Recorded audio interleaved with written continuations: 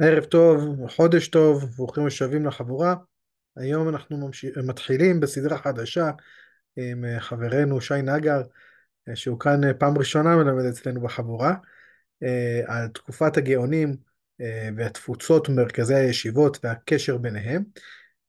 אנחנו חוזרים חזרה עם הסדרה הקודמת לסדרה הזאת, שבדיוק סיימנו, דיברנו על הרב שם טוב גגין, ובתקופה המודרנית של אה, המסורת הספרדית, אז עכשיו אנחנו חוזרים אחורה לתחילת אה, זריחת התפוצות בישראל וההידרדרות של מרכזי הישיבות בבבל ובארץ ישראל, איך הגענו למצב שאנחנו מכירים בתקופת הראשונים, מתקופת הגאונים, וזה מה שנעסוק פה בסדרה אה, שאנחנו עכשיו נתחיל. כמו שהזכרתי, בדיוק סיימנו שתי סדרות מי שפספס מוזמן להיכנס לעמוד היוטיוב שלנו ולצפות בשיעורים שהיו, גם על הרב שם טוב גגין וגם עוד סדרה אה, של אה, פרופסור חיים גמליאל, שעסקנו ברפואת הרמב"ם ותרומתה לרפואה בת ימינו, ודברים שמבוססים מדע. פרופסור חיים גמליאל הוא רופא בעצמו, כך שכדאי מאוד לצפות בסדרה ההיא, מי שפספס. הסדרה, אה, הסדרה הנוכחית תהיה הסדרה האחרונה שלנו שתלווה אותנו עד סוף, סדר, אה, סדרת, אה, עד סוף לו"ז החורף בעצם, עד פסח. ייתכן ויהיו עוד שני שיעורים מיוחדים לקראת פורים ולקראת פסח. מי ש... תהיו בהאזנה בקבוצת הוואטסאפ ונעדכן במידה ושיעורים האלה יתקיימו. אבל כפי שאמרתי, הסדרה הזאת היא, היא הסדרה האחרונה בלו"ז החורף, ולאחר פסח כבר נפתח בלו"ז חדש. כמו כן, אני מזכיר לכולם, כמו בכל שנה, אנחנו אה, מארגנים אה, משלוח או מארגנים הזמנה מרוכזת של מצות רכות, אז מי, שמוזמן, מי שמעוניין לרכוש מצות רכות לקראת הפסח, דרך, אה, אה, גם מוזמן להיות אה, בקשב להודעות בקבוצת הוואטסאפ שנשלח בקרוב. נארגן הזמנה מרוכזת, ואז בשבוע, שבועיים לפני פסח, ימים, ימי איסוף מרוכזים בירושלים ואולי גם במרכז, ואתם מוזמנים להזמין דרכנו. בסדר גמור. אוקיי, אז אם, אם כן, אני שמח מאוד uh, להזמין את uh, שי uh, נגר שכאן איתנו uh, לסדרה הזאת. Uh, שי הוא דוקטורנט במחלקה לתלמוד באוניברסיטת בר אילן.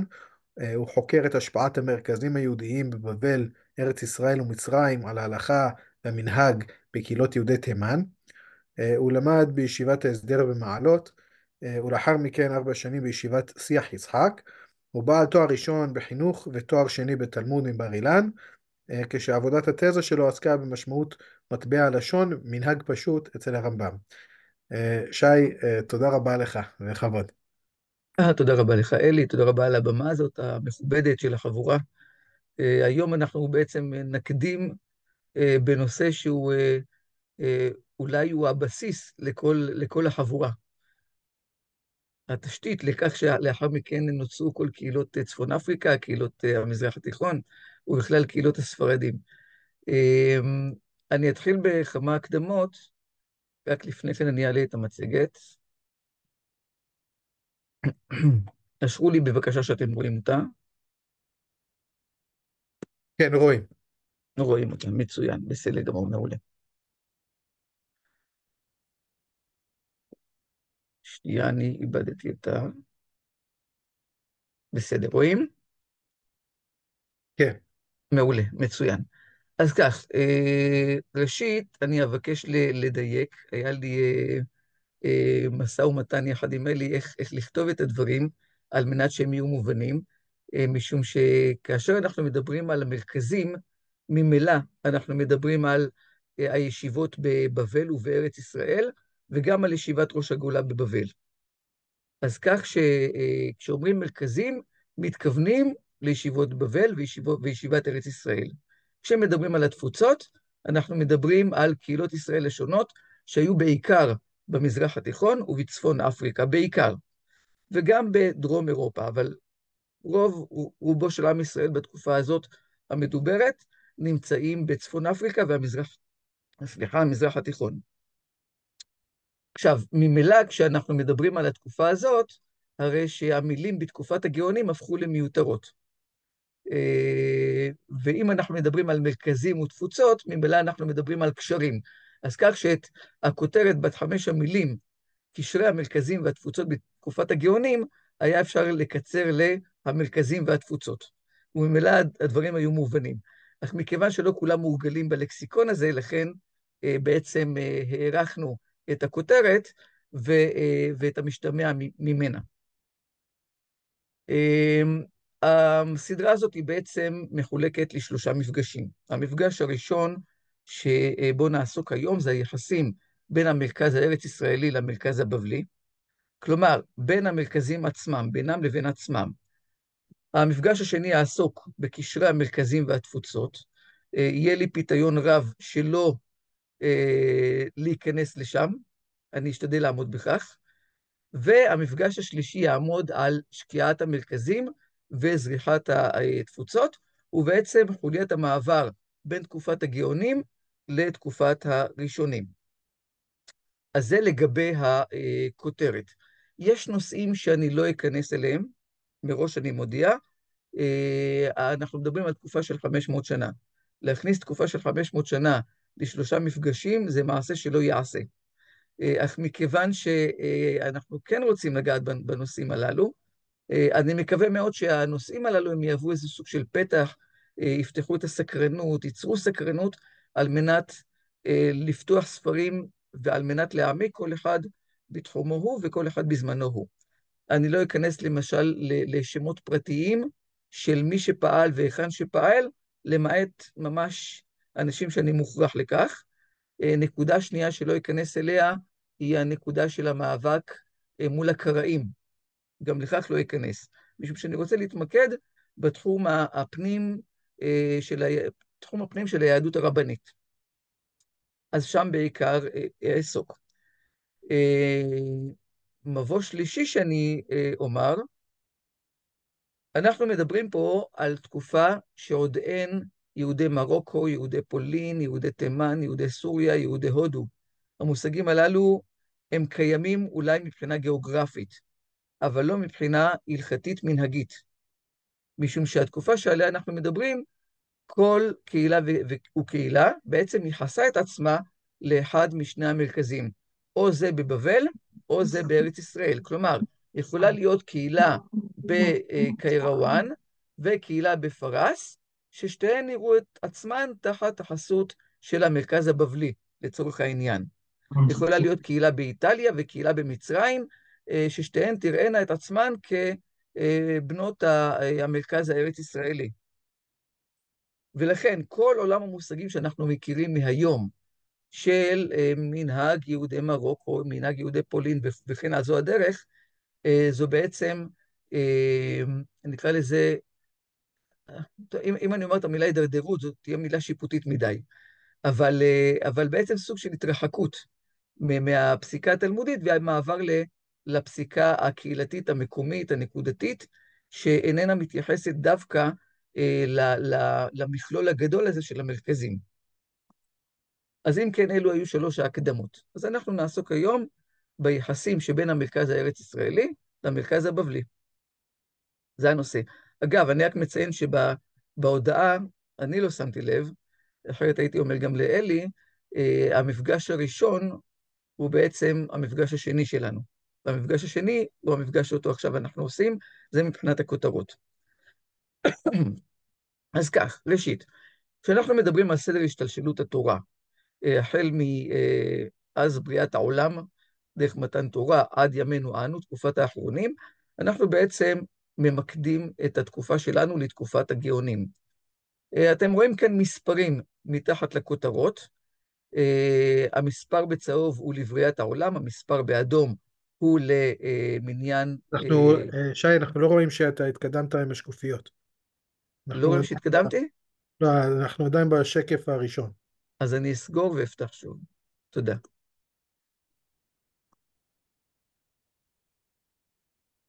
כן, עכשיו רואים. עכשיו רואים? מצוין. אז הנה, אני מסביר לשקופית אה, הקודמת שדיברתי עליה, על שלושת המפגשים. אה, לא, אם אתה מגדיל את ה... אתה צריך להישאר ב... שאתה לא מגדיל את, ה... את המצגת. את המצגת? כן. אוקיי, אז אני אצא. כך רואים? כן. בסדר גמור, אז אני אשאר כך. אם כן, כשאנחנו מדברים על השתלשלות, אה, השתלשלות תורה שבכתב, שבעל פה, הרי שאנחנו מדברים, מחלקים, נהוג לחלק זאת לתקופות. אה, החלוקה אה, בעיקר של המשולשת האחרונה היא יותר מלאכותית, היא מקובלת יותר במחקר, וגם הגבולות שלה הם גבולות שהם נזילים, הם לא גבולות מוחלטים. אנחנו עוסקים בתקופת הגאונים, וגם כאן זו תקופה שאנחנו לא יודעים להגדיר את ראשיתה. משום שהתקופה שלפניה גם היא תקופה עלומה, היא תקופת הסבוראים. אה, ואין אה, לנו גם יותר מדי מידע על ראשית תקופת הגאונים. את אה, אחריתה יותר אפשר לדייק, אז במחקר מקובל לסיים את תקופת הגאונים בשנת 1038, היא שנת פטירתו של רב איה גאון. אנחנו נראה בהמשך שהרמב"ם הכיל את תקופת הגאונים לתקופה קצת יותר ממושכת, אה, אבל גם כאן זה, זו נקודה שרירותית שאפשר אה, בהחלט לאחר או להקדים, בעיקר לאחר אותה. אז זו התקופה שעליה אנחנו מדברים. אה, מהיכן אנחנו שואבים את המידע על התקופה הזאת? אז יש לנו בעיקר שני חיבורים מרכזיים. החיבור הראשון הוא נקרא עכבר בגדד של רבי נתן הבבלי, בן המאה העשירית. לא להתבלבל עם רבי נתן הבבלי, זה מפיתום הקטורת, אה, משום שהוא קדם במאות שנים לרב נתן הבבלי. אה, ואנחנו מדברים פה בעצם על, על חכם אה, שם מקורב לישיבת סורה, והוא כתב את, את קורות העיתים, כנראה כאיגרת לקהילות בצפון אפריקה. יש לנו את איגרת רב שריר הגאון, שהיא היותר מוכרת, ויצאה בכמה וכמה מהדורות, יש לה גרסה ספרדית, נוסחה צרפתית. אה, רב שרירה כתב, סליחה, גם את איגרתו לאנשי קיירוואן, אה, היא אה, בתוניס של היום. הוא עצמו כיהן כראש ישיבת פומפדיטה במאה העשירית, אז אנחנו רואים שבעצם שני החיבורים הם, הם פחות או יותר בני אותה תקופה, עם פער של כמה עשרות שנים ביניהם. אז הם בעיקר מדברים על המרכז הבבלי. מסמכי הגניזה הקהירית, שנחשפו לפני כ-130 שנה בערך, אה, הם שופכים אור, התגלו למאות אלפי מסמכים בגניזה הקהירית, והם בעצם פתחו לנו צוהר מאוד מאוד אה, רחב לתקופת אה, הגאונים, שמרבית הקטעים מסייעים לנו להכיר את, את המרכז הבבלי, ומיעוטם עוזר לנו גם להכיר את המרכז הארץ-ישראלי. מעבר לכך, יש לנו גם את, את תשובות הגאונים, שגם נמצאים לאלפים, אה, ותשובות הגאונים בעיקר אה, שופכים לנו אור על המרכז הבבלי. אנחנו נדבר בהמשך מה קורה עם תשובות הגאונים של המרכז הארץ-ישראלי. כשאנחנו מדברים בעצם על התקופה הזאת, אנחנו גם צריכים קצת להכיר את הפוליטיקה של אותה תקופה. את הפוליטיקה, את ההיסטוריה, את הגיאוגרפיה, אה, על מנת להיכנס להקשר הרחב יותר וגם להשפעות. וכמובן ההשפעות הן גם, אה, בואו נאמר, במעבר של כתבים, אה, בעלייה של, של מנהיג כזה או מנהיג אחר, ובשלהי התקופה הזאת גם בירידת המרכזים, ובעליית התפוצות, בוודאי שזה קשור גם אה, לשלטון המקומי. כשאנחנו מדברים על ראשית התקופה הזאת, בואו נגדיר אותה אה, כרגע במאה השישית, הרי שהאזור שלנו, של המזרח התיכון, הים התיכון, הוא בעצם אה, מחולק בעיקר לשתי אה, אה, אימפריות, האימפריה הססנית שהיא הייתה אימפריה פרסית, והאימפריה הביזנטית, שראשיתה רומא, ולאחר מכן הקיסר קונסטנטינוס קיבל את הנצרות עליו. ועל כל האימפריה, ולכן שלטה, הנצרות בעצם שלטה שם. עכשיו, נקודת התפר, אתם יכולים לראות שהיא מזרחית לישראל, ירדן של היום, סוריה של היום, ובנקודת התפר הזאת היו המון מאבקים. כאשר האימפריה הססנית מנסה להכניע את הביזנטית, והפוך, כשהביזנטית מנסה להכניע את הססנית. היכן ממוקמות הישיבות? הרי שישיבת ארץ ישראל הייתה תחת האימפריה הביזנטית, וישיבות בבל היו תחת האימפריה הססנית. עכשיו, כאשר יש לנו כמה ישיבות תחת אותה אימפריה, הרי שהמעבר ביניהם, הקשר ביניהם הוא קשר רציף. אבל הקשר בין אה, ישיבת בבל לארץ ישראל הוא קשר מאוד בעייתי, משום שמעבר בין האימפריות כשלעצמו הוא מעבר בעייתי. אה, הריבוע שסימנתי אותו, ריבוע הגדול, בעצם מאפיין פחות או יותר את אה, תחומי הגיאוגרפיה של המרכז הבבלי, כאשר ישיבת ארץ ישראל נמצאת פה בריבוע הקטן. כשאנחנו מדברים על אה, השפעות, הרי שאנחנו מדברים על כך שישיבות המרכז הבבלי השפיעו על כל האזור הזה שמסומן כאן בצהוב, בכתום, ואפילו יותר מכך. אנחנו יודעים על השפעות על, על יהודי הודו, על יהודי תימן, וישיבת ארץ ישראל השפיעה על אה, מעט על איטליה, השפיעה על מרכז במצרים, כלומר, היו לה שלוחות גם של יהודים שלא ישבו דווקא במקומות הללו.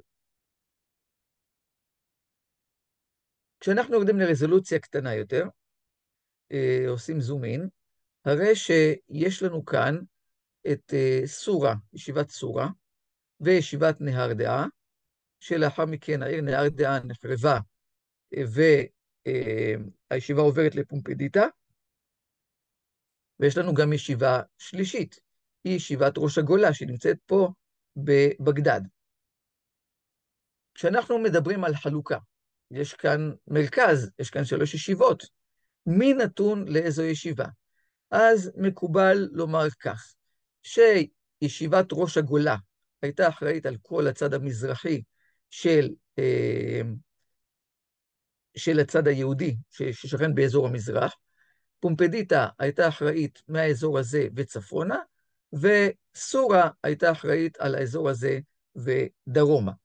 כאשר בכל אחת מהערים הללו יש ישיבה, יושבת ישיבה. ב- ב- ב- בישיבה יש את ראש הישיבה, יש את תלמידי החכמים שיושבים בישיבה, ובעצם יש להם תפקיד. ראש הגולה כשלעצמו היה לו גם תפקיד מדיני, היה לו תפקיד כבר בתקופה, בתלמוד אנחנו כבר מכירים את המושג הזה של ריש גלותא, אה, ובעצם התפקיד הזה עבר בעיקר אצל אה, משפחות מצומצמות שיוחסו לבית דוד. ראש הישיבה אה, של ראש הגלות, כן, ראש הגלות, שכיהן לפעמים כראש ישיבה, הוא לא בהכרח היה חייב להיות תלמיד חכמים, תפקידו היה בעיקר תפקיד מדיני, ואם שולבו בו שתי ההכשרות הללו, גם מדיני וגם רבני, הנה מה טוב, אבל לא בהכרח. כאשר ראשי, אה, ראשי ישיבות של סורה ופומפדיטה גם היו מחויבים להיות תלמידי חכמים מבחינה אה, רבנית, ועל פיהם יישק דבר. כשאנחנו מדברים על תפקידי הישיבות, הרי שתפקידם היה גם כרשות מחוקקת, גם כרשות שופטת, כלומר, אם יש קהילה מסוימת שצריכה הכרעה בדין מסוים, הרי שאם ההנהגה המקומית לא יכלה לפתור את הבעיה, מביאים את הבעיה הזאת, את השאלה, לאחד מראשי הישיבות, והוא פותר את השאלה הזאת יחד עם תלמידי החכמים שבישיבתו. וגם הם היו במידה מסוימת רשות מבצעת. כי אם היה צריך לפטר מישהו או להכריז נידוי, חרם על מישהו או על קהילה, מה שזה לא יהיה, הרי שזה היה תחת אחריותם, והם גם נהגו בכך. אז כך שהיה המון המון כוח לישיבות, אה, כדי לנהל את כל, ה, אה, את כל קהילות ישראל בתפוצות השונות. אה, באמצע המאה השביעית, פתאום קורה משהו מפתיע, שהאימפריה הססנית והאימפריה הביזנטית לא צפו אותו, וזה הכיבוש הערבי. כאשר מוחמד מתחיל את הכיבושים שלו באמצע שנות ה-40, של המאה השביעית, ולאחר כ-150 שנה בלבד, מבחינה היסטורית זה מעט מאוד, הרי שכל האזורים כאן שצבועים בצהוב, כתום או חום, הופכים להיות תחת חסות של השלטון הערבי, של הכיבוש הערבי. מה המשמעות? המשמעות היא זה שגם המרכז הבבלי וגם המרכז הארץ-ישראלי הופכים להיות תחת חסות של שלטון ערבי. היינו מצפים שאולי זה יגרום לסוג של איחוד השורות, של איחוד הכוחות, אבל בניגוד לציפייה הזאת זה לא קרה. אלא אנחנו אפילו צופים אה, ממה שיש לנו, אז יש לנו בעצם סוג של מאבקים שהם אפילו לא סמויים, הם מאבקים גלויים, ואנחנו נראה את זה בעיקר במפגש השני, כאשר ידובר על התפוצות. היום נעסוק במעט מההבדלים שבין המרכז הבבלי למרכז הארץ-ישראלי. וגם כאן יש השפעות לא מעטות. צריך לזכור שראש הגולה עדיין נתפס כראש היהודים, והערבים בעצם קיבלו מהפרסים את, ה, את התוקף של התפקיד הזה, היה נוח להם. אגב, הם היו יחסית יותר ליברליים כלפי היהודים ביחס לססנים, מה שאפשר את, אולי נקרא לזה, את חופש היצירה בתקופת הגאונים. בעיקר במרכז הבבלי, אה, אבל זה בהחלט שיפר את, את אה, מעמדם. עכשיו, המרכז הארץ-ישראלי, גם כשלעצמו, הוא היה נתון עדיין בכל מיני אה, מאבקים. אה, כי גם השלטון המוסלמי החליף מספר אה, בתי מלוכה, אם זה בהתחלה אה, בית אומיה, ולאחר מכן בית עבאס, ואם זה הסלג'וקים שהגיעו מהצפון מאזור טורקיה, ואם זה הפטימים שהגיעו מאזור סליחה, מאזור תוניס למצרים, ולאחר מכן כבשו את ארץ ישראל וסוריה, אז כך שגם בתקופה הערבית לא, לא היה נחת לישיבות. ועם זאת, הם עדיין ניסו להנחיל את, אה, נקרא לזה, את, את אה, מרצם, את כתביהם, את כוחם, על הקהילות, על הקהילות בתפוצות השונות. בואו נתחיל עם ישיבת ארץ ישראל. סליחה. כשאנחנו מדברים על ישיבת ארץ ישראל, הרי שכבר בספרות התנאית והאמוראית, אז יש לנו את הפעילות של הסנהדרין. הסנהדרין כמוסד, כמחוקק אה, לכל עם ישראל, כמוסד העל. רק שמאז, פחות או יותר, אזור אה, חתימת התלמוד הירושלמי, ואף לפני כן מעט, עד המאה התשיעית אין לנו כמעט מידע על הישיבה בארץ ישראל. זה סוג של איזה חור שחור, שגם כתבי הגניזה הקהירית לא שפכו לנו אור על כל התקופה הזאת. על ראשית תקופת הגאונים בארץ ישראל אין לנו כמעט מידע. אז אנחנו כל הזמן מנסים לגזור אחורה. זאת אומרת, ממה שאנחנו יודעים מהמאות התשיעית, העשירית, 11, אנחנו מנסים איכשהו לגזור אחורה את, ה, את המידע הזה, אז אני מניח שחלק מהגזירה הזאת הוא, אה, היא גזירה נכונה, וחלק מהגזירה הזאת היא גזירה, גזירה שאיננה נכונה. ועד שלא יהיו לנו ראיות ומסמכים, לא נוכל לדבר על כך באופן ודאי. אמ, אז אם כן, מרבית המסמכים שנמצאו שופכים אור בעיקר על המאות העשירית ה-11. עד 1078, ישיבת ארץ ישראל, שגם קראה לעצמה, כינתה את עצמה בשם סנהדרין, או סנהדרין גדולה, או ישיבת ארץ הצבי. היא יושבת לא רק בירושלים, היא יושבת גם בטבריה, והיא יושבת גם ברמלה. רמלה הייתה עיר הבירה של האימפריה אה, המוסלמית באותה תקופה. המוסלמים בנו את, את, את רמלה. ו, והישיבה גם יושבת שם בתקופה מסוימת. אה, ארץ ישראל נכבשת על ידי הסלג'וקים בשנות ה-70. של המאה ה-11. הסלג'וקים היו מוסלמים שהגיעו מאזור טורקיה, והישיבה לא מוצאת את עצמה יותר בארץ ישראל. ולכן הישיבה גולה לצור, ומצור היא מנסה לנהל את העולם היהודי. אז מי שהיה בסוריה והיה תחת חסותה כל הזמן, אז הם היו יותר קרובים. אבל הם התרחקו למשל ממצרים, מהקהילה במצרים. אז זה לא מרחק גיאוגרפי רב, זה עדיין בתחומי, נקרא לזה, הוא מארץ ישראל במידה מסוימת. אז היא יושבת שם בצור במשך כ-25 שנים, עד שלמעשה יש את מסעות הצלב, והישיבה נאלצת לעבור לדמשק. ישיבת ארץ ישראל לא יושבת בארץ ישראל, היא יושבת בדמשק, ועדיין קוראים לה ישיבת ארץ ישראל. וישיבת דמשק, אה, סליחה, ישיבת ארץ ישראל בדמשק, יושבת שם כמעט מאה שנה. בשלב מסוים, אה, לאחר כמאה שנה, כן, יש לנו את אה, רב מצליח, בן כהן צדק, שהוא מעביר חלק מסוים של הישיבה לפוסטת שבמצרים. זאת אומרת שישיבת ארץ ישראל, חלקה יושב כרגע בדמשק, וחלק מסוים של ישיבת ארץ ישראל יושב לו במצרים, בפוסטת. ישיבת ארץ ישראל לא יושבת בארץ ישראל כבר למעלה מ-120 שנה, ועדיין קוראים לה ישיבת ארץ ישראל, והיא רואה את עצמה כמרכז לכל התפוצות שהיו תחת חסותה.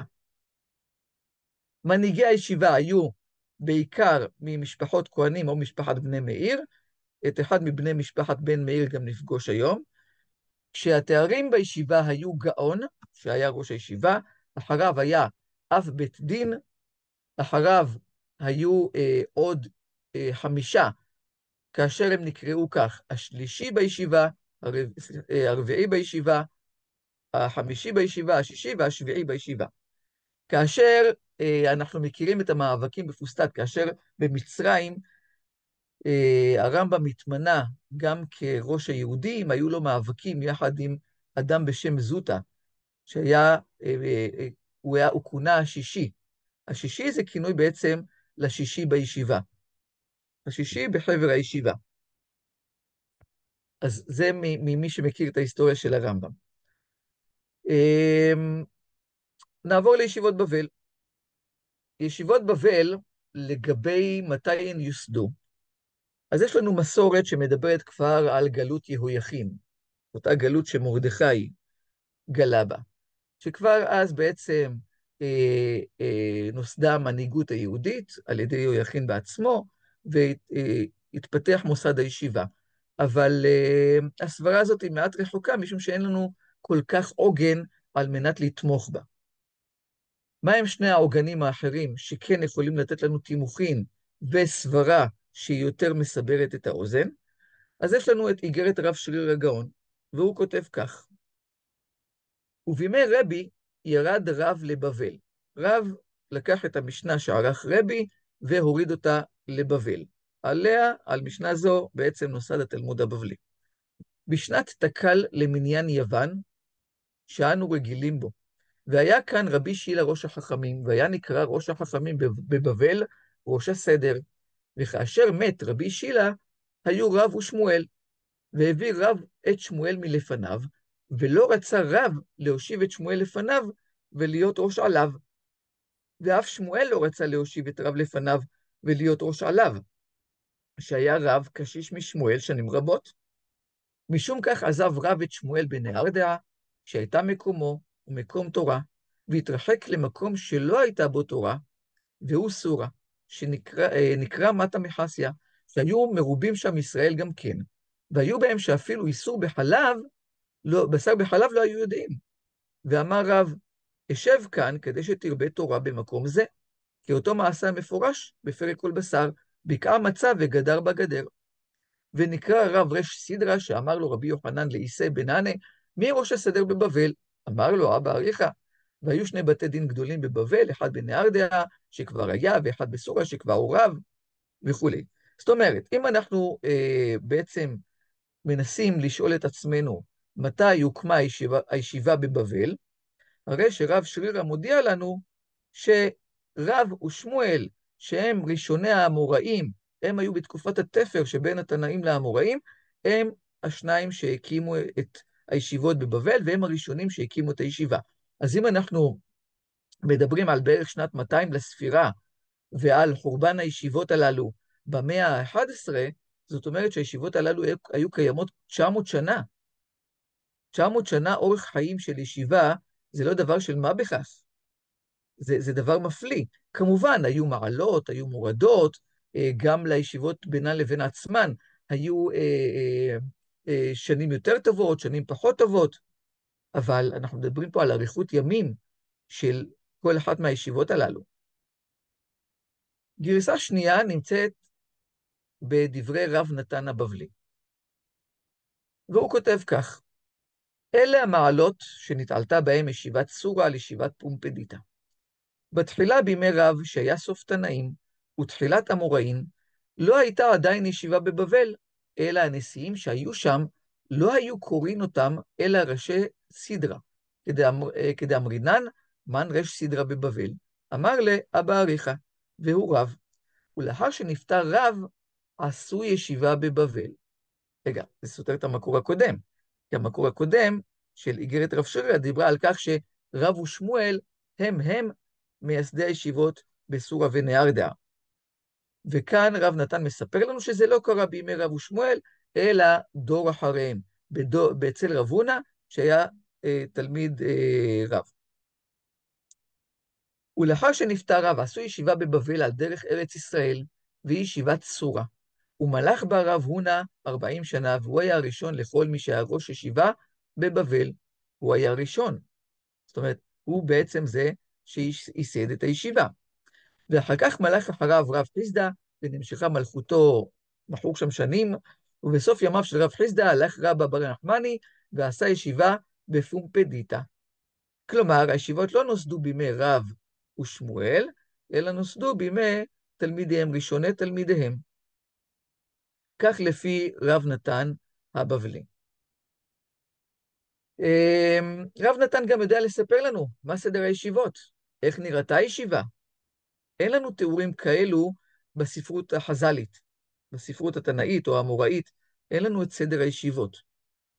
לעומת זאת, רב נתן כן מספר לנו, לפחות ממה שהוא ראה כעדות ראייה בתקופתו במאה העשירית, וזה אחד מהכתבים שאותם אנחנו גוזרים אחורה, וטוענים שבסבירות גבוהה שכך גם היה, שכך גם היה סדר הישיבות בראשית תקופת הגאונים, באמצע תקופת הגאונים.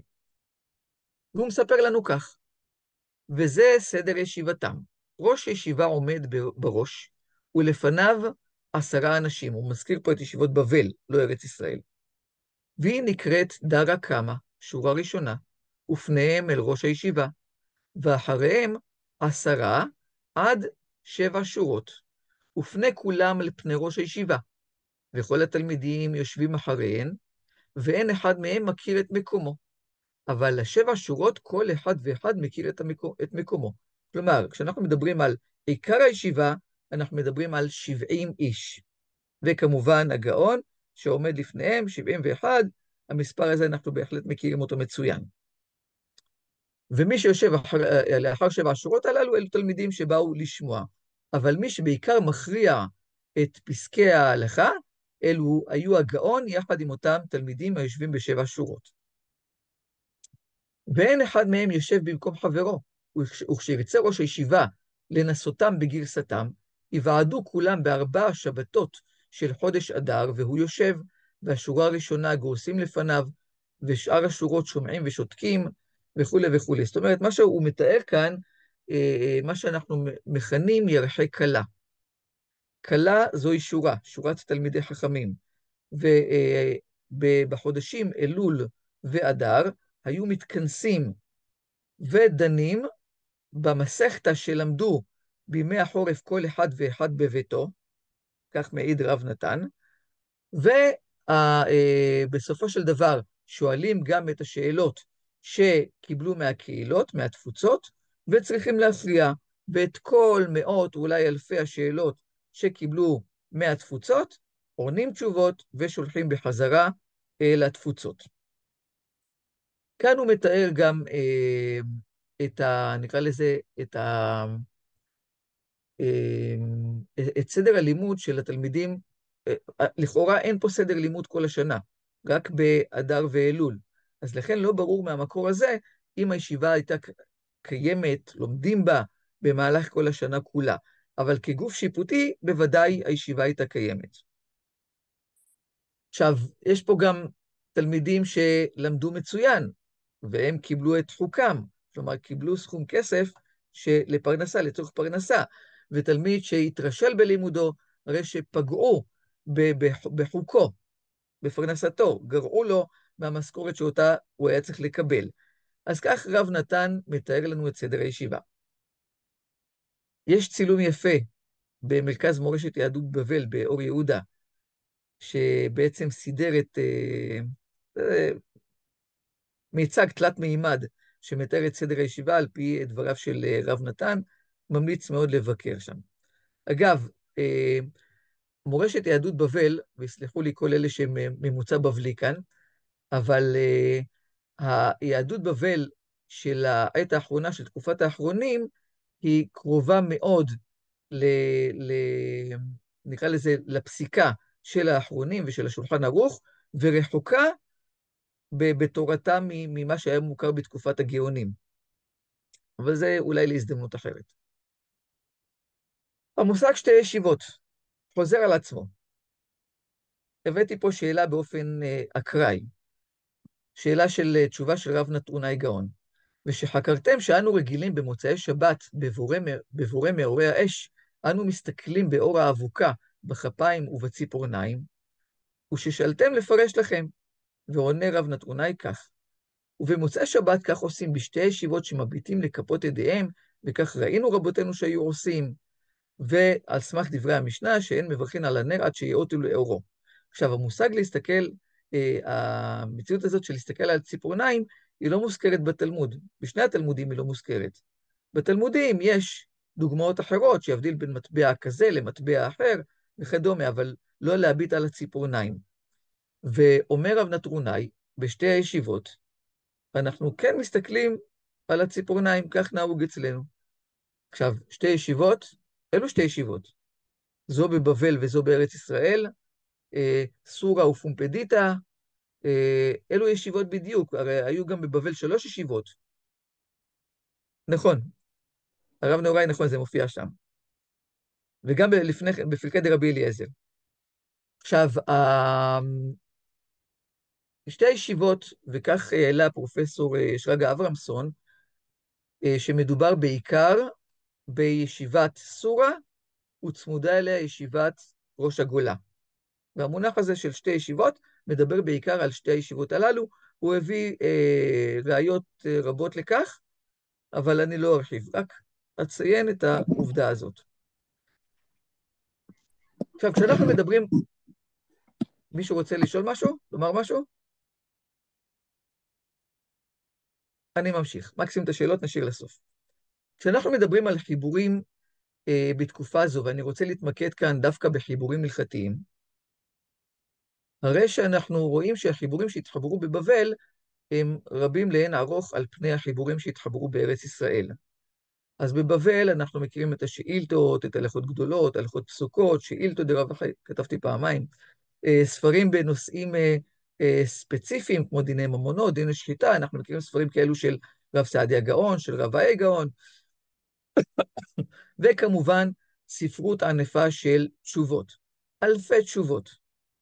יש מקום שבו אה, כתב פרופסור שמחה אסף, יש בידינו בין חמשת אלפים לעשרת אלפים תשובות. אה, כמובן שהמספר הזה, סטיית התקן בו איננה תקנית, אה, כאשר עומדים כך, אבל אנחנו בהחלט מדברים על, על אלפי תשובות. לעומת זאת, כשאנחנו מדברים על החיבורים ההלכתיים שהתחברו בארץ ישראל, אז יש לנו אה, חלק מהמסכתות הקטנות שהן הלכתיות שהתחברו אה, בארץ ישראל, ויש לנו גם ספר מפורסם שנקרא ספר המעשים לבני ארץ ישראל, שהוא לא כתוב בצורה אה, שאנחנו מכירים כספר הלכה, אלא יש בו מעשים, כלומר מקרים, ולאחר מכן ההלכה הנגזרת כתוצאה מאותו מעשה. עכשיו, אז בעצם אה, אה, היה פה ניסיון לפרש את הדברים כך, שבבבל הישיבות היו הרבה יותר מפותחות, העולם ההלכתי היה הרבה יותר מפותח, ומכיוון שכך, אז גם החיבורים ההלכתיים בבבל רבו על אלו שבארץ ישראל. יתרה מכך, היום אנחנו נוהגים בעיקר על פי התלמוד הבבלי, הוא מהווה יסוד ועיקר עד הפסיקה של היום, וזה נעשה בכוח עבודתם של גאוני בבל, בעיקר של גאוני בבל. ולכן ארץ ישראל, תורת ארץ ישראל כמעט ונשתכחה, לעומת תורת בבל, שנפוצה אה, הרבה מאוד, עד שבעצם היום אין קהילה שנוהגת כמנהגי אה, אה, והלכות ארץ ישראל באופן מקיף. באופן נקודתי יש שאריות בוודאי, ולא מעט, אבל כמכלול אנחנו מדברים פה על תורתה של בבל. עכשיו, אם אנחנו אומרים, כי מציון תצא תורה, הרי שפה קרתה אה, אה, איזו הפיכה מסוימת, כי מבבל יצאה תורה, ומרכז ההלכה שלנו היום הוא ההלכה הבבלית. תכף נדבר על האיזון הזה.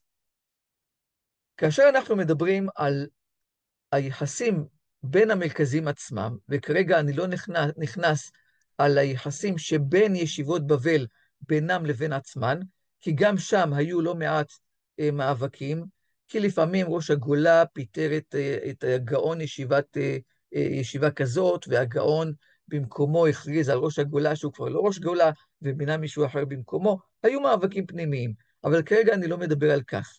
אני מדבר על כך, על, על בעיקר על המאבקים בין המרכז הבבלי למרכז הארץ-ישראלי. ואחד מהחיבורים המפורסמים הוא של פלקוי בן בבוי, שהוא היה תלמיד תלמידו של רב יהודאי גאון. ואנחנו מדברים על סוף המאה השמינית, תחילת המאה התשיעית. נקרא מספר קטעים, זמננו מצטמצם, אז אני אקרא בדילוגים. אה, והוא בעצם שלח איגרת לקהילות צפון אפריקה, שתוכנה הוא, אה, חברים, אני יודע שבאו אליכם שליחים מארץ ישראל, ואני יודע שחלקכם נוהים אחרי הישיבה הארץ-ישראלית, אבל הגיע הזמן שתפסיקו. למה? כי בארץ ישראל היה שמד, ותורת ארץ ישראל היא תורת שמד, ולכן לא ירדו לעומקם של דברים, ומה שהוציאו, הוציאו הרבה פעמים לא נכון. ולכן, כל מי שאיתנו, שימשיך להיות איתנו, כמו המרכז הבבלי, ומי שלא איתנו, שמעכשיו יתחיל להיות איתנו. והוא כותב להם כך: ושמענו שזיכה הקדוש ברוך הוא אתכם וקבע בתי מדרשות בכל מדינות אפריקיה ובכל מקומות שבספרד, וזיכה הקדוש ברוך הוא אתכם להגות ולעסוק בתורה ביום ובלילה, ושמחנו וכולי וכולי. ושמענו שבאו אצלכם תלמידים מישיבה, ומהן שהן בארץ ישראל, ולימדו מנהג ארץ ישראל, ובעווננו גזר שמד, כן, על ארץ ישראל, ועכשיו 500 שנה שלא התעסקו וכולי וכולי. ובעצם הוא אומר שתורת ארץ ישראל איננה תורה לגיטימית. וכך הלכה למעשה בשתי הישיבות, בכל הספרים, שמימות משה ועד עכשיו לא נהגו לכתוב בריק, זה אלא משנים מועטים, מדבר פה על הלכות ספר תורה, מפני שמנהג שמד הוא שגזר אדום הרשעה שמד על ארץ ישראל, שלא יקראו בתורה, וגנזו כל ספרי התורה מפני שהיו שורפים אותם. כלומר, פרקוי גם מוסר פה, הוא אומר, אם יש פה מסורת ממות משה רבנו עד היום, זאת המסורת הבבלית, המסורת שלנו, המסורת הארץ-ישראלית, נקטעה בגלל אותם שמדות של, של הנוצרים. וכשבאו ישמעאלים לא היו להם ספרי תורה, ולא ספרים שיש בידם הלכה למעשה, כיצד מאבדים את האורות? אז לא רק שאין להם מסורות, גם אין להם ספרים שהם יכולים לשחזר את המסורות הללו. ואז הוא עובר להלכות סרחה. ותדע לך, מפני מה אוכלים סרחה בארץ ישראל? מפני שאין בידם הלכה אחת מהתלמוד, הלכות שחיטה ולא מסדר חודשים, שכולו נשתכח מהם. אז גם בהלכות שחיטה הם לא בקיאים. אמ, אני מדלג. ואין גאולה באה תחילה, אלא לישיבה דבבל, שכשם שישראל נגאלים בזכותן, לפיכך גאולה באה להם תחילה, שנאמר, שכך כתיב, שם תנצל לי ומשם יגלך השם מכף אויבייך. עכשיו, זאת אומרת, לא רק המסורות של העבר, אלא גם הגאולה העתידית. מאיפה היא תגיע? לא מירושלים, היא תגיע מבבל. והוא כמובן מצטט פסוק אה, מספר זכריה, מציין שהגאולה משם יגאלך, כלומר מבבל יגאלך השם מכף כל אויבייך. והקטע האחרון, שהוא אה, קטע גם מאוד משמעותי, אין ראוין חבלו של מש... סליחה, שבעל פה מישראל והלכה למעשה שבפיהם שלמדו מרבותם ורבותם מרבותם עד משה רבנו. והלכה למשה מסיני אף לימות המשיח. כלומר, יש לנו מסורת סדורה דור אחר דור. אין ראוין חבלו של משיח, שכך כתיב, הוי ציון ימלתי יושבת בת בבל, ימלתי מאדום הרשעה ומגזרותיה, ואין ציון, אלא ישיבה שמצוינים בתורה ובמצוות. ציון, אנחנו מכירים כירושלים, אולי כמושג רחב יותר כארץ ישראל. לוקח פלקוי בן בבוי את המושג ציון, ואומר ציון זה לא מקום גיאוגרפי. ציון זה משמעות. אלו שמצוינים בתורה ובמצוות. איפה ציון של עכשיו? ציון של עכשיו היא בבבל. וכך הוא נותן את התוקף ומעצים את התוקף של הישיבה הבבלית. וזה שהיום אנחנו הולכים בעיקר לפי התלמוד הבבלי, אז יש, יש כמובן, זו, זו דינמיקה, דינמיקה שהתחילה בנקודה מסוימת והמשיכה עם השנים והתעצמה עם השנים. גם, גם ספרי הפסקים שבעיקר אנחנו מכירים, אם זה הריף, אם זה הרמב"ם, הם פסקו בעיקר על פי התלמוד הבבלי. עכשיו, יש איזו מחשבה אה, או אמירה ששמעתי אותה, והיא אמירה שאיננה נכונה, זה שרק תורת בבל היא זו ששרדה, אבל לעומת זאת, תורת ארץ ישראל לא שרדה. עכשיו, נסייג. האמירה הזאת היא נכונה בעיקר בתחום ההלכה. בעיקר בתחום ההלכה. אבל יש לנו המון השפעות שהן באו דווקא מתורת ארץ ישראל. אם אנחנו מדברים למשל על הפיוט, הרי שהפייטנים הקדומים שאנחנו מכירים, אם זה יוסף בן יוסף ורבי אליעזר הקלירי, אנחנו מדברים פה על פייטנים מהמאות הרביעית והחמישית בארץ ישראל. הפיוט בבבל התחיל רק בתקופה יותר מאוחרת, ושגשג יותר בעיקר בתקופתו של רב סעדיה גאון. אבל לא לפני כן. הניקוד התברני שבו אנחנו משתמשים עד היום, כל מערכת של טעמי המקרא והמסורה של בן אשר, הם באו מארץ ישראל, על פיהם אנחנו חיים היום. הניקוד הבבלי הלך והשתכח. יש שרידים רק אצל יהודי תימן. זה שיהודי תימן הוגים את הסגול כפתח, אה, זה שריד למשל של הניקוד הבבלי. אבל מעבר לכך, לא, לא נשאר הרבה מהניקוד הבבלי.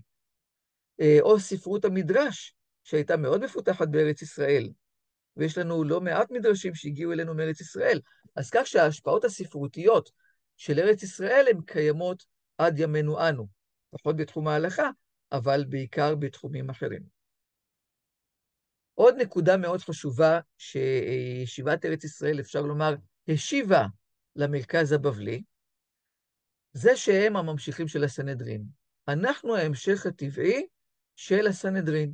אנחנו ההמשך הטבעי של הישיבה אה, של ארץ ישראל, של מציון תצא תורה.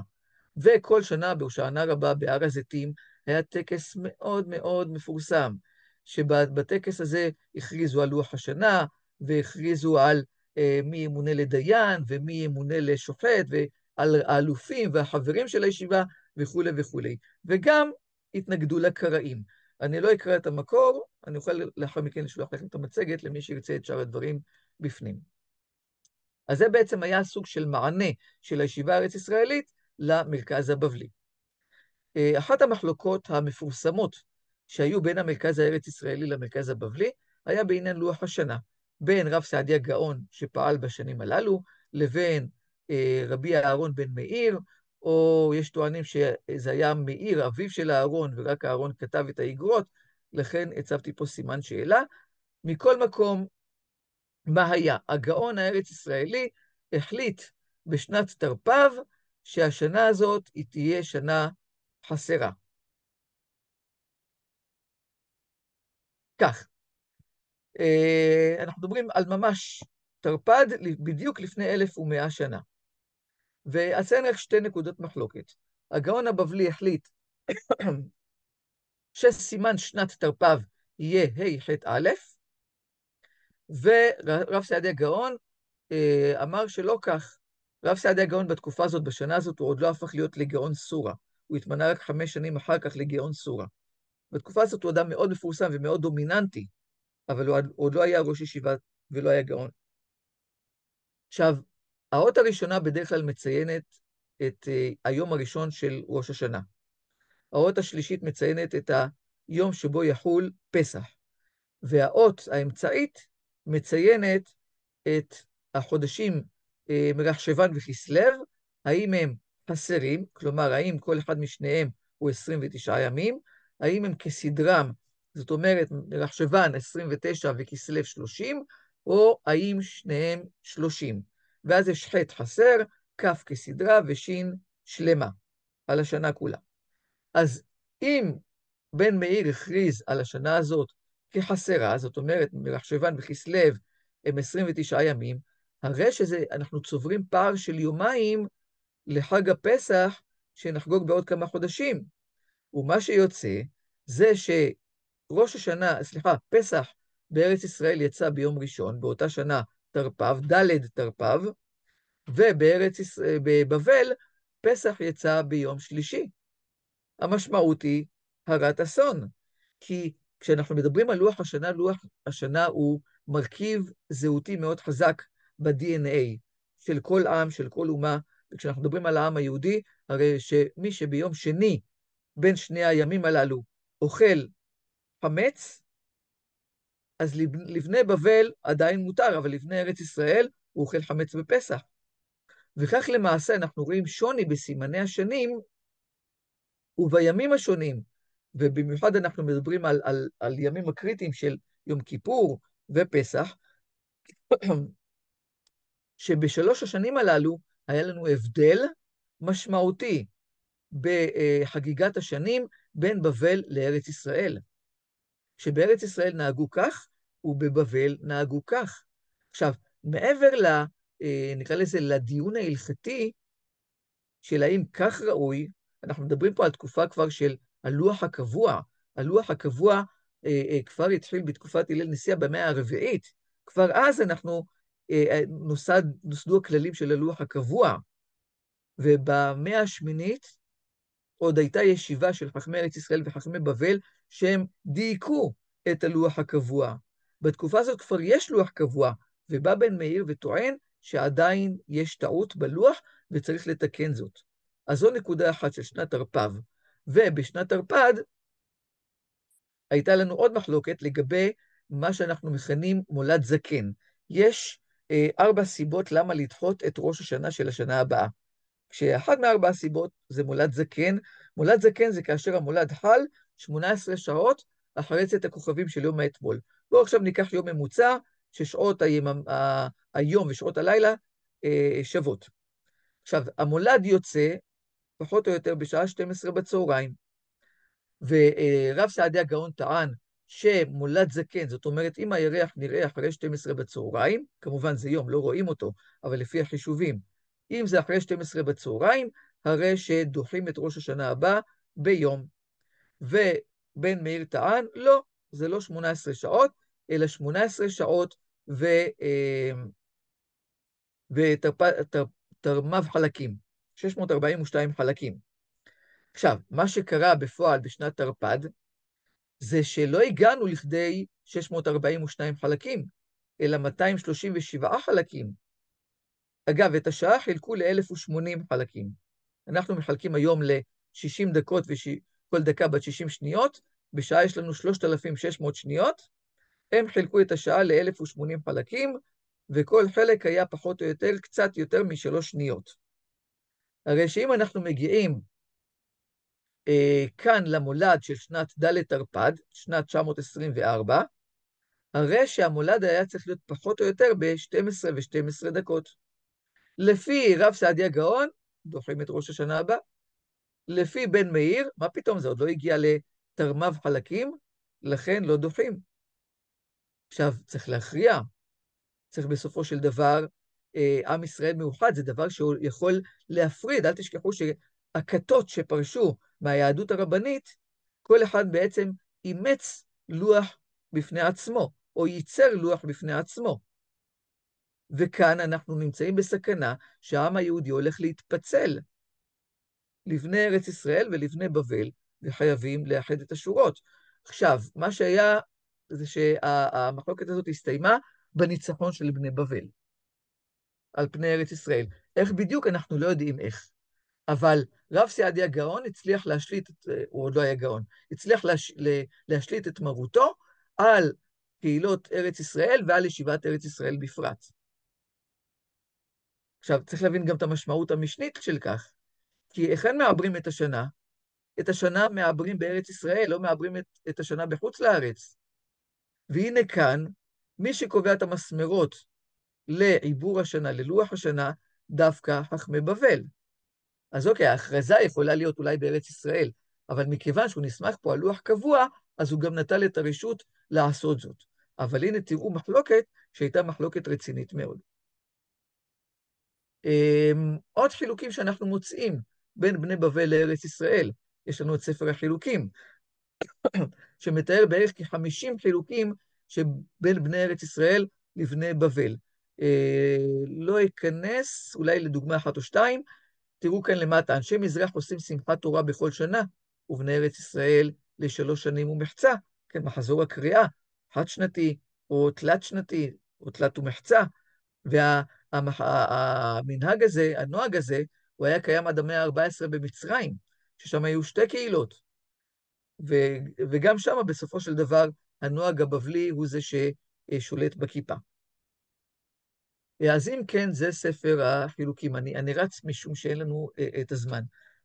אה, בואו נדבר על סמכות, סמכות הגאונים. כשאנחנו שואלים את עצמנו היום, רגע, אז להלכה, מה התוקף של דברי הגאונים, של פסיקות הגאונים, ביחס להלכה, לפחות של הראשונים, אם לא להלכה שלנו היום? גם כאן אנחנו מוצאים אה, אה, אה, חלוקה, ופה אני דווקא מביא ראשונים שדנו על דברי הגאונים, וידועה שיטתו של רבי שמעון בן צמח דורן, אה, המכונה התשבץ, שהוא נתן בלעדיות לפסקי הגאונים, והחשיב את דבריהם כדברי תלמוד, כפסיקות התלמוד. אגב, גם כך הגאונים ראו את עצמם.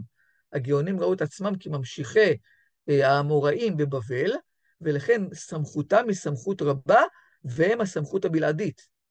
עוד סיבה למה לא להקשיב לישיבת ארץ ישראל, שממנה בעצם פסקה המסורת, פסקה השושלת.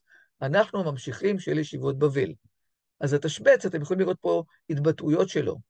אה, כתבתי לך זה עליך למעשה, אין לחלוק על הגאונים, אה, אי אפשר לחלוק על הגאונים, וכן על זו הדרך. מאידך, ידועה שיטתו של הרמב"ם. כשהרמב"ם, אה, בהקדמתו למשנה תורה, הוא בעצם שם קו אדום. שם קו אדום לסמכות של כל ישראל. והקו האדום הזה זה חתימת התלמוד הבבלי. ההלכות שבתלמוד הבבלי התפשטו בכל ישראל, ולכן הם מחייבים את כל ישראל. אבל אחר בית דינו של רב אשה, התפזרו ישראל בכל הגלויות וכולי וכולי, ולכן מאז יש לנו בתי דין מקומיים. וכל בית דין שעמד אחר התלמוד, אחר התלמוד, כן? כלומר, הוא כולל פה את תקופת הגאונים. וגזר או התקין או הנהיג לבני מדינתו, לא פשטו מעשיו לכל ישראל. לפיכך אין כופין אנשי מדינה זו לנהוג במד... כמנהג אנשי מדינה אחרת. אין מצב, אין אפשרות של כפייה, כי עכשיו כל בית דין הוא עומד בפני עצמו, הוא טוב לקהילתו, הוא לא יכול לכפות קהילה אחרת. וגם כשהוא מסכם לנו את תקופת הגאונים, הוא כותב כך, כל החכמים שעמדו אחר חיבור התלמוד ובנו בו, כלומר התבוננו בו, ויצא להם שם בחוכמתם, הם הנקראים גאונים, וכל אלו הגאונים שעמדו בארץ ישראל, ובארץ שנער, ובספרד, ובצרפת, תראו איך הוא מרחיב את הגבולות לספרד וצרפת, שבעצם הם היו אחר כך התפוצות שקמו בעקבות חורבן המרכזים שמקודם דיברנו עליהם. לימדו דרך התלמוד והוציאו לאור תעלומותיו ובערו ענייניו, כלומר, מה תפקידם בעיקר של הגאונים? כפרשנים לתלמוד, לא כיוצרים הלכות וכללים חדשים כמו כוחם של האמוראים. לא, כוחם כבר לא ככוח האמוראים, והם בעצם מפרשים. ולאחר מכן הוא גם מפרט את הספרים שהם כתבו, ספרי פסקים, ספרי ושאלות ותשובות, וכן על זו הדרך. אבל בעצם הרמב"ם חלק המון על הגאונים. ובשני תורה בעיקר רואים את זה, שהוא מתייחס לא מעט למנהגי גאונים או תקנות גאונים, ובעצם מבטל אותם. ואומר שאת חלקם הוא בוודאי תומך ומשבח, אבל את חלקם הוא, הוא, הוא גם דוחה וטוען שאין להם תוקף, משום שהם יצאו אחר התלמוד, והגאונים אין כוחם יותר מאשר כוח אה, הראשונים שבאו אחריהם. אז חברים, אני מסכם את אה, מה שראינו עד עכשיו. היום דיברנו על, על המרכזים, אה, על מרכז הישיבות בבבל, ששם היו שלוש ישיבות, סורה, פומפדיטה וישיבת ראש הגולה, ולעומתן את המרכז בארץ ישראל, ששם הייתה ישיבת ארץ ישראל. ישיבות בבל, כוחם היה כהמשך ישיר של התלמוד הבבלי, של, האמוראים שם, וארץ ישראל ראו את עצמם כהמשך ישיר של הסנהדרין שפעלה בארץ ישראל. ולאחר מכן הגיעו גם המאבקים, של, שכל מרכז ניסה לקחת לעצמו את הבכורה, הן בחיבורים הספרותיים שיצאו מהמרכז, והן בקשרים שלו יחד עם התפוצות. בפעם הבאה אנחנו נראה את ה... נרד לרזולוציות יותר, יותר אה, אה, קטנות, ונראה כמה הם בעצם ניסו להשפיע, ולפעמים אפילו בכוח הזרוע, על הקהילות, על מנת ללכת אחריהם. אה, אז דיברנו על המכלול הזה וראינו את המאבקים הבסיסיים שהיו בין שני המרכזים, וכמו כן דיברנו על סמכות הגאונים כפי שנתפסה בדור שלאחריהם, בתקופה שלאחריהם, בתקופת הראשונים. אה, אז עד כאן דבריי, ומכאן מי שרוצה להוסיף משהו, להחכים אותנו, או לחדד, או לשאול, זה הזמן. נאורי, לא שומעים אותך, הרב נאורי. נאורי, אתה על מיוט. אני, תודה, תודה על ההרצאה המאלפת. אה, אני ברשותך אשאל, מה, מה לגבי התקופה, תקופת הגאונים בארץ ישראל, אה, הטענה ש, שהם, אה, שגאוני ארץ ישראל היו בתקופה של שמד, אמ, קודם כל מזה שיש יציאה מאוד מועטת מחכמי, מגאוני ארץ ישראל, חוץ מספר החילוקים ופה ספר קצת מעשיות, נכון? יש, יש יחסית יצירה מועטת, האם זה בגלל אה, אה, באמת שהם היו בתקופה של שמד, אה, ביזנטיון, אולי היו שם גזרות, אנחנו יודעים מה קורה שם באותה תקופה? נגיד בתקופת הגאונים המוקדמת, אולי אה, משנת, אה, משנת 700 או, או קצת אפילו לפני, 700, 600, יודעים מה, מה קורה בארץ ישראל, באמת יש יצירה מועטת בגלל הבעיה, בגלל אה, אה, רדיפה של היהודים באותה תקופה, יודעים מה... למה אני יחסית... אני אחלק את זה לשניים. אני אחלק את זה לשניים. מבחינה היסטורית, אנחנו כן יודעים פחות או יותר מה קרה בארץ ישראל בתקופה הזאת, אה, מבחינת השלטון הלא יהודי, שכפה את עצמו גם על היהודים. אה, באחת השקופיות הראשונות, שאולי אה, לא יצא לך לראות אותן, אני הראיתי שמה שעד המאה התשיעית למעשה אין לנו כמעט שום מסמך על ישיבות הגאונים בארץ ישראל. זה סוג של מסך שחור שאין לנו שום מידע עליו עד שלהי המאה התשיעית, תחילת המאה העשירית. אין לנו כמעט שום מסמך. עכשיו, הטענה הזאת של אה, פלקוי בן בבוי, שבגלל הגזרות והשמדות, אז גם נטמעתה תורתה של ארץ ישראל, היא טענה שבמידה מסוימת יש בה גם דמגוגיה. כי גם בבבל היו גזרות והיו שמדות, ואף על פי כן יש לנו תורה ענפה מבבל. מאידך אי אפשר להתעלם באמת מהעובדה הזאת שאין לנו תשובות גאונים מארץ ישראל. אין. יש לנו אלפים מבבל, אבל מארץ ישראל אין לנו תשובות גאונים. עכשיו, זה שאין, זה לא אומר שלא היו. ייתכן שהיו, רק שלנו אין. גם לא נמצאו בגניזה הקהירית. רגע, אני, אני, שכ... אני לא... לגבי, ה... לגבי גאוני ארץ ישראל באותה תקופה, יש לנו שמות שלהם מאיגרת רב שירה גאון, או ש...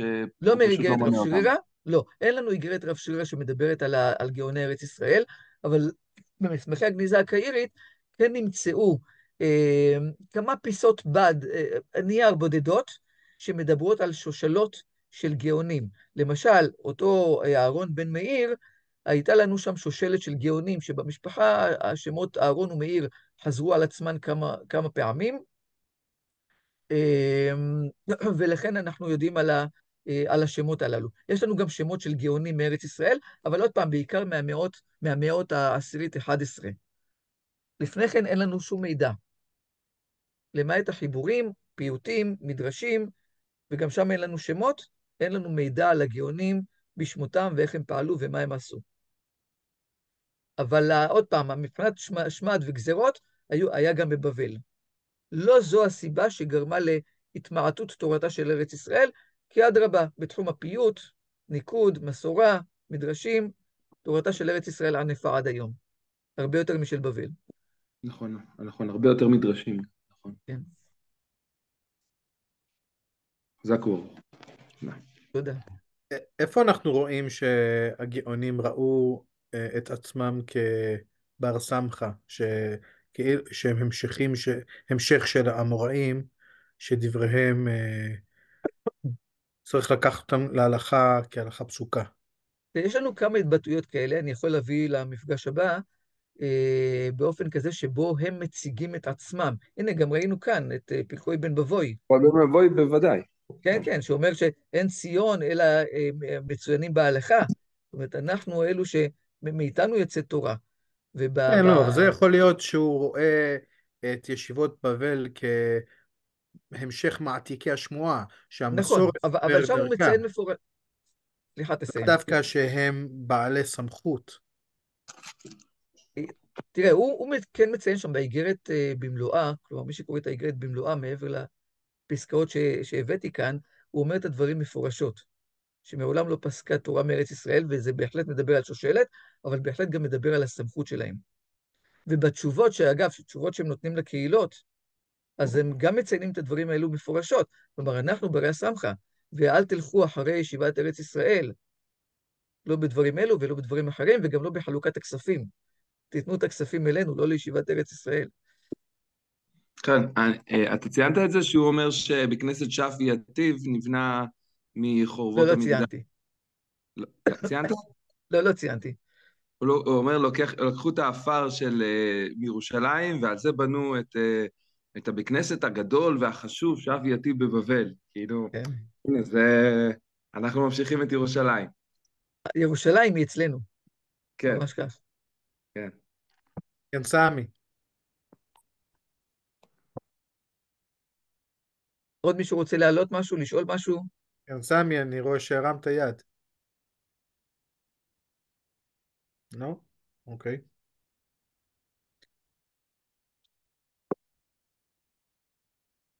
טוב, אז אנחנו נסיים כאן. טוב, אז uh, תודה רבה, ואנחנו מתרגשים לשיעור השני. בשמחה uh, רבה. אני אשלח את המצגת, ואז תוכל לשלוח לכולם. בסדר גמור. Uh, אני אעלה את זה ביוטיוב, זה יהיה סמוך ליוטיוב. Mm-hmm. Uh, אני מז, מזכיר, השיעור הבא, לא, שבוע הבא זה יהיה פורים. Uh, אז השיעור השני של הסדרה הזאת... בעוד שלושה שבועות. בעוד שלושה שבועות או שבועיים? שבועיים זה פורים. אה, אז סליחה, אז השיעור הבא הוא כן שבוע הבא. אני מתנצל. שבוע הבא יהיה השיעור השני של השיעור הזה, ואז בעוד שלושה שבועות יהיה השיעור השני. טוב, אז שיהיה לכולם ערב, ערב טוב, חודש תודה רבה חברים, חודש מבורך, חודש שמח. נזכה ל... שהשם יושיע אותנו ויחזיר את חטופינו בריאים ושלמים בגופם ובנפשם.